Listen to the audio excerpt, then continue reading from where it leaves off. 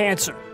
It can affect anyone mothers, daughters, fathers, sons, and even me.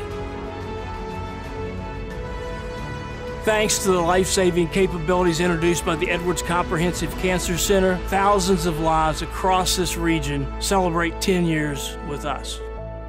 The Edwards Comprehensive Cancer Center, where knowledge meets hope.